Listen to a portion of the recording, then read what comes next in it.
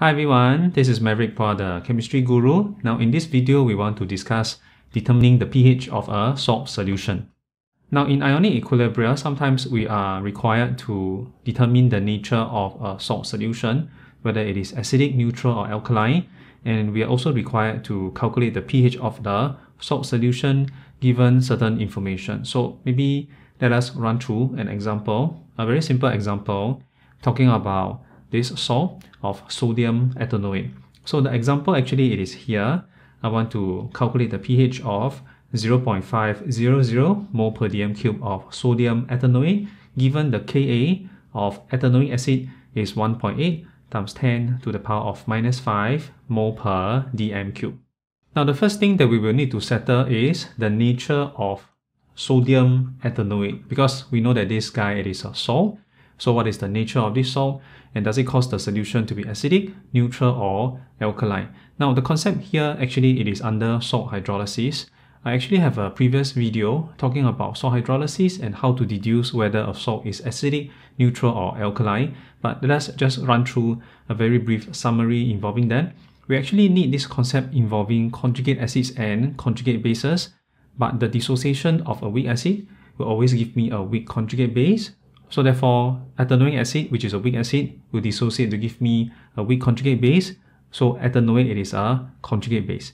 Then a weak base will dissociate to give me a weak conjugate acid. So for example, ammonia, which is a weak base, on dissociation, it will give me a weak conjugate acid, NH4+. Now for strong acid on dissociation, the counter ion form it is neutral. For example, HCl dissociate to give me H plus and Cl minus. Cl minus because there's no tendency for Cl minus to go back to HCl. So for Cl minus in terms of nature, I think it is easier for us to say that it is neutral. Then finally for a strong base, the dissociation of a strong base will also give me a counter ion which is neutral. For example, sodium hydroxide on dissociation to give me Na plus and OH minus.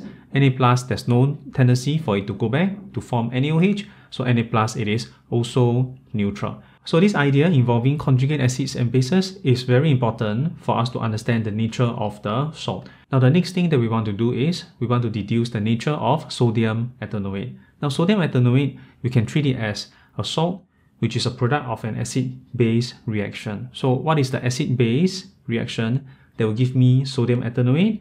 CH3COO minus Na plus, it is formed from the neutralization reaction between CH3COOH and sodium hydroxide. So from the nature of the acid and base that forms this salt, I can determine the nature of each of these ions. Now I think it is important for us to keep in mind a salt is actually made up of the cation and the anion. The cation can be acidic neutral alkaline. The anion can also be acidic neutral alkaline.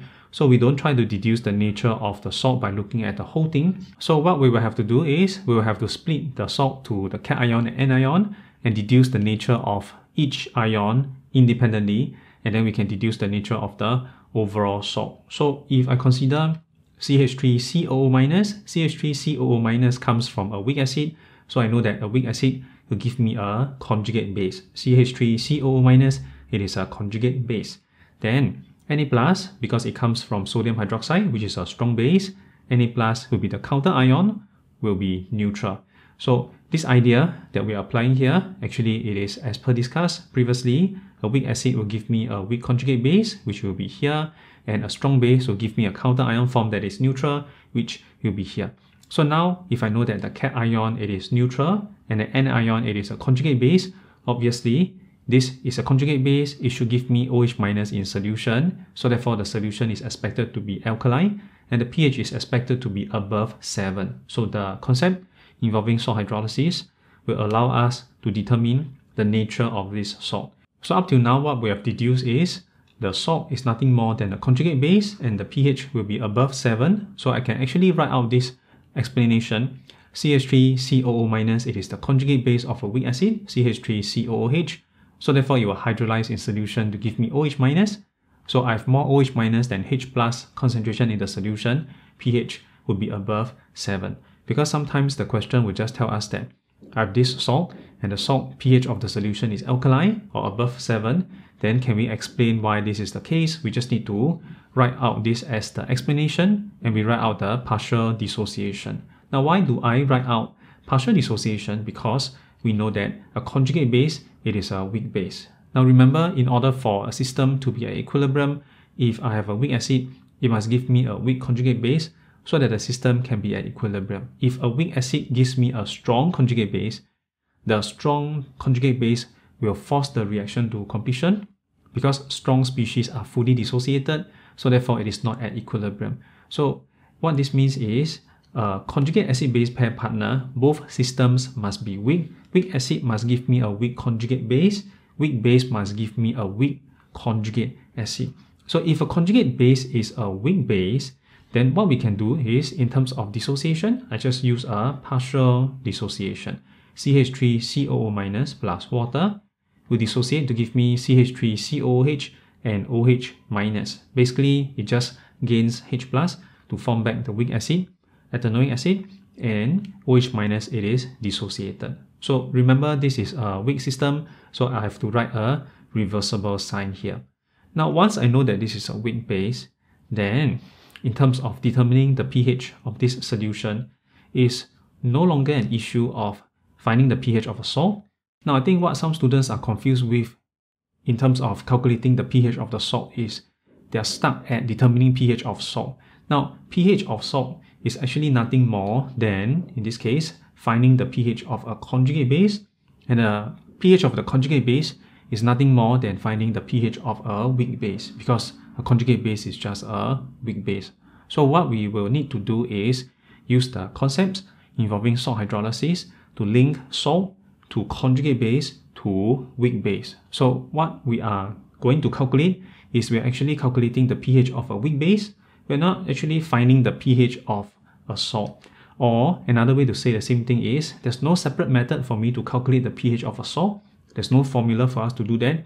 The method for us to determine the pH of the salt for this exercise is just to determine the pH of a weak base. So moving on, the formula that we will be using will be here. This is OH minus concentration equals to square root Kb times concentration of weak base. Now remember what I've highlighted here is this is the formula for me to find the pH of a weak base. This is not the formula for me to find the pH of a salt. If I know how to find the pH of ammonia, which is a weak base, then I have the concept or I have the formula to determine the pH of sodium ethanoate. Now, what we will have to do in this case is, inside this question, they never give us the Kb of ethanoate. For CH3COO minus, we are given the Ka of CH3COOH. So we need to do a little bit of manipulation to the Kb here, but it is not an issue, right? Because we have learned that Ka multiplied by Kb for a conjugate acid-base pair will be equal to Kw. So Ka of CH3COOH multiplied by Kb of CH3COO minus is equal to Kw.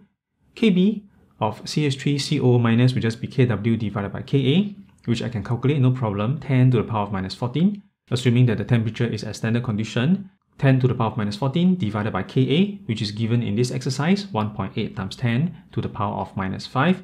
So I can determine Kb to be 5.56 times 10 to the power of minus 10. Then finally, I can substitute this back into the formula. OH minus concentration is equal to the square root of Kb times weak base concentration, or the conjugate base in this case, square root 5.56 times 10 to the power of minus 10, which is Kb, 0.500, which is the concentration of sodium ethanoate, and I'll get this value 1.667 times 10 to the power of minus 5 mole per dm cube. Subsequently, I can find pOH, which is minus log OH minus concentration, which is minus log 1.667 times 10 to the power minus 5 I will get this value 4.778. And finally, determining the pH of this solution is not an issue. pH will just be 14 minus pOH under standard condition. 14 minus 4.778, I'll get this value 9.22. Now, I think what is important is you notice these few steps that we are doing for calculation. It is just finding the pH of a weak base. So if I want to determine the pH of ammonia, the steps actually more or less is the same. I'll just use this formula to find OH minus concentration. Once I find OH minus concentration, then I can find pOH, then I can find pH. So again, just to reiterate, what is important in terms of the pH of a salt solution is we will need to use the concept to try to link the salt to a conjugate base for this exercise. And a conjugate base is nothing more than a weak base So therefore, we will use the formula involving finding the OH minus concentration of a weak base, and then subsequently we can find pOH and we can find pH. So determining the pH of a salt is nothing more than determining the pH of a weak base. Alright, so that was the discussion involving calculating the pH of a salt solution.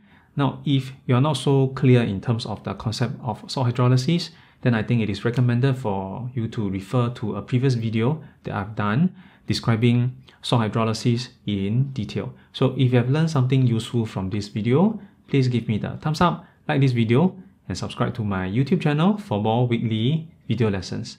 That's all for now. Thanks for watching.